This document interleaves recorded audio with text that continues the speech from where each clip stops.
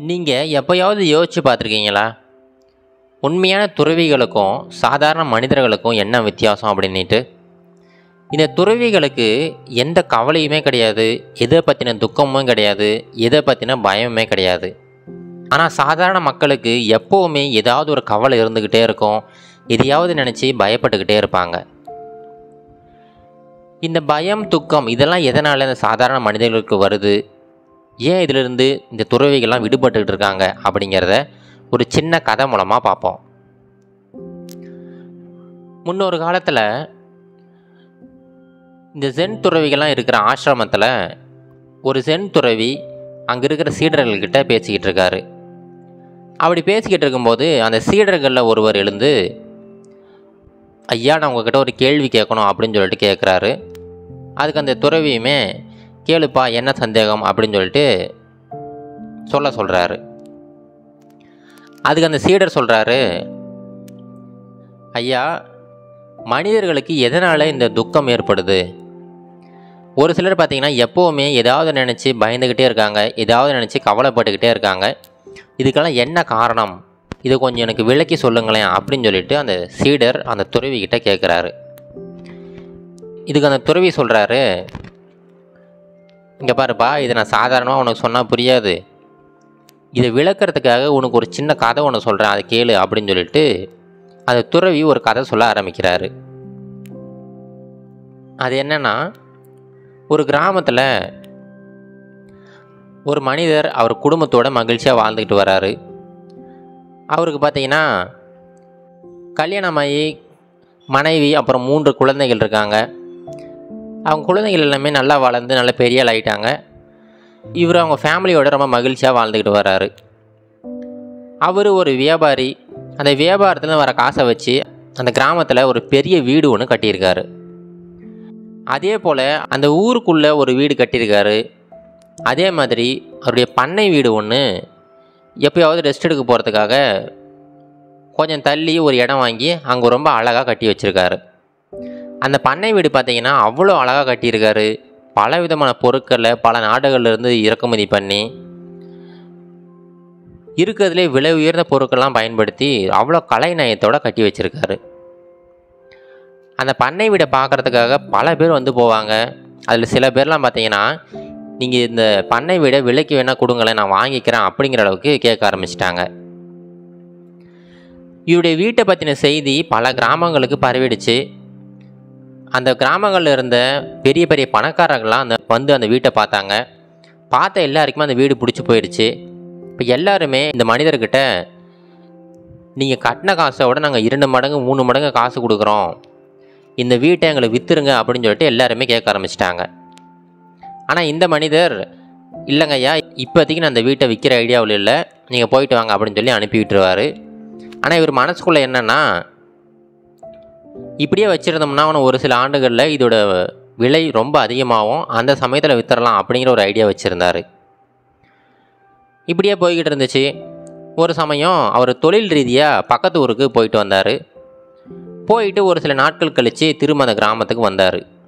வந்தபோது பார்த்திங்கன்னா நிறைய ஆட்கள் அங்கும் இங்கும் ஓடிக்கிட்டு இருந்தாங்க. என்ன ஏதுன்னு விசாரிக்கும்போது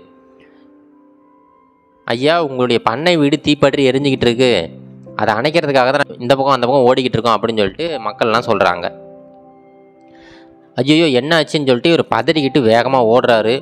போய் பார்த்தா அவருடைய பண்ணை வீடு முழுவதுமே எரிஞ்சிக்கிட்டு இருக்கு. அங்கே ஏதோ ஒரு சில மக்கள் மட்டும்தான் அதை தீயை வந்து அணைக்கிறதுக்காக ஏதோ பாடுபட்டுக்கிட்டு இருக்காங்க. ஆனால் பல பேர் அங்கே வந்து நின்று வேடிக்கை பார்த்துக்கிட்டு இருக்காங்க. எப்படி எரியுது அப்படின்ட்டு இவர் பார்த்தீங்கன்னா என்ன பண்ணுறதுனே தெரியல. ஏன்னா முழுவதுமே எரிய ஆரம்பிச்சிருச்சு. இவர் அங்கே மண்டி போட்டு அழ ஆரம்பிச்சிட்டாரு. என்னுடைய காசு பூரா இப்படி கரியாக போய்கிட்டுருக்குதே.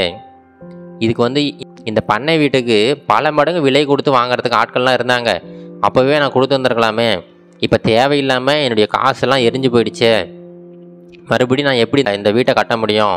அப்படின்னு சொல்லிட்டு ரொம்ப கவலையோட வாய் விட்டு கத்தி அழுதுகிட்டு இருக்காரு இவர் அப்படி அழுதுகிட்டு இருக்க அந்த சமயத்தில் இந்த மனிதரோட முதல் பையன் வேகமாக ஓடி வந்து அப்பா எதுக்காக அழுதுகிட்டு இருக்கீங்க? அப்படின்னு சொல்லிட்டு கேட்குறான் இவருக்கு ரொம்ப கோபம் வந்துடுச்சு என்னப்பா கேள்வி கேட்குற நம்மளுடைய வீடு இங்கே வந்து பற்றி எரிஞ்சுக்கிட்டு இருக்கு.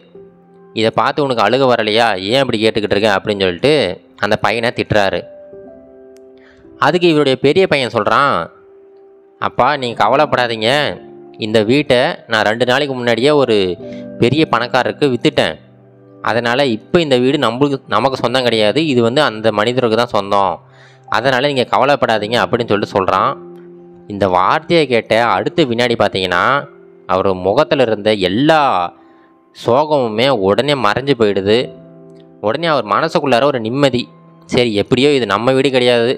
வேறு யாரோ ஒருத்தர் வந்து விலை கொடுத்து வாங்கிட்டார்ல அப்படின்னு சொல்லிட்டு ஆல்ரெடி அங்கே மக்களாக நின்று வேடிக்கை பார்த்துக்கிட்டு இருந்தாங்கல்ல.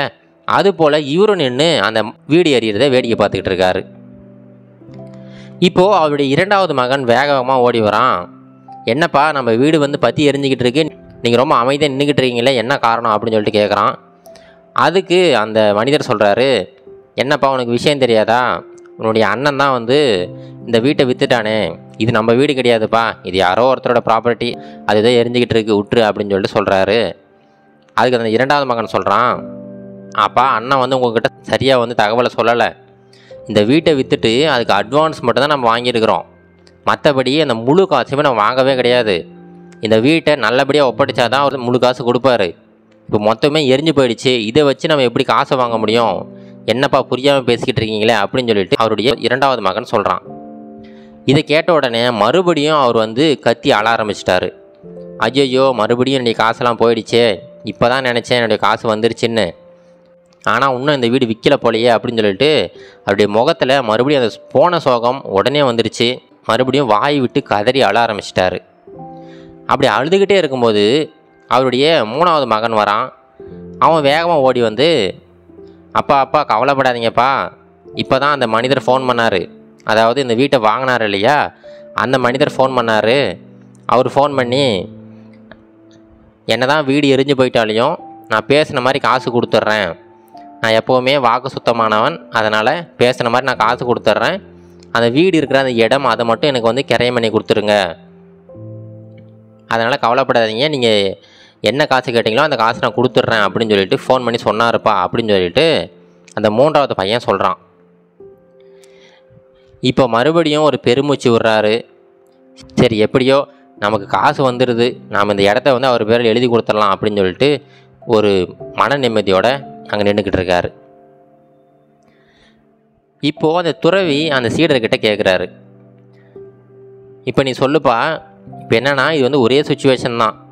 அந்த வீடு எரிஞ்சுக்கிட்டு இருக்கு இப்போ என்னன்னா முதல்ல அந்த மனிதர் அந்த வீடு வந்து தன்னோடதான் நினச்சாரு. அதனால் ரொம்ப கவலையோட ரொம்ப சோகத்தோட கதறி கதறி அழுதுகிட்டு இருந்தார் அடுத்த வினாடி அந்த வீடு அவரோட இல்லை அப்படின்னு தெரிஞ்ச உடனே அந்த சோகம்லாம் மறைஞ்சு போயிடுச்சு. அந்த வீடை மற்றவங்க மாதிரி சாதாரணமாக நின்று வேடிக்கை பார்க்க ஆரம்பிச்சிட்டாரு. ஆனால் மறுபடியும் அந்த வீடு வந்து சரியாக வந்து விற்கலை அந்த அட்வான்ஸ் மட்டும் தான் வந்திருக்குன்னு தெரிஞ்ச உடனே போன சோகம் மறுபடியும் அவருக்கு வந்துருச்சு. ஆனால் கடைசியாக எப்படியோ ஒன்று அவருக்கு தேவையான காசு வந்த உடனே அந்த வீடுக்கும் அவருக்கும் சம்மந்தம் இல்லை அப்படின்னு சொல்லி முடிவு பண்ணிட்டாரு. அப்போது அவருடைய சோகம்லாம் பறந்து போயிடுச்சு. நீ கேட்டதுக்கு ஒரே ஒரு பதில் தான்ப்பா இருக்குது அது என்னென்னா பற்று. எப்போ நீ வந்து ஒரு பொருள் மேலேயோ இல்லை மனிதர்கள் மேலேயோ நீ அதிகப்படியான பற்று வைக்கிறியோ அப்போது உன்னை அறியாமலே அந்த சோகமாகட்டும் கவலையாகட்டும் இது எல்லாமே உன்னை அறியாமலே உனக்கு வந்துடும் ஆனால் இந்த துறவிகள் எடுத்துக்கிட்டிங்கன்னா அவங்க வந்து இந்த பற்றுகள் இல்லாமல் இருப்பாங்க. அதன் காரணமாக தான் அவங்க எந்த ஒரு கவலையுமே இல்லாமல் எந்த ஒரு துக்கமுமே இல்லாமல் ரொம்ப மகிழ்ச்சியாக வாழ்ந்துக்கிட்டு இருக்காங்க. அப்படின்னு ரொம்ப தெளிவாக ஒரு விளக்கம் சொன்னார். இப்போ இந்த கதையிலேருந்து நம்ம புரிஞ்சுக்க வேண்டியது ஒன்றே ஒன்று தாங்க எப்போ நாம் ஒரு பொருள் மேலே அதிகப்படியான பற்று வைக்கிறோமோ அதாவது பற்றுங்கிறது வேறங்க அன்புங்கிறது வேற நம்ம எப்போ அதிகப்படியான பற்று வைக்கிறோமோ அந்த சமயத்தில் தான் அந்த பொருள் நம்மளை விட்டு போயிடுமோ அப்படிங்கிற அந்த கவலை நம்ம மனசுக்குள்ளே இருந்துக்கிட்டே இருக்கும். அதனால் இந்த பற்றுங்கிறத நீங்கள் கொஞ்சமாக குறைச்சிங்க. தாராளமாக நீங்கள் இந்த துக்கம் கவலையெல்லாம் இல்லாமல் ரொம்ப மகிழ்ச்சியாக வாழலாம். இது கரேஜ் டு ஆக்ட் மோட்டிவேஷன் கதைகள்.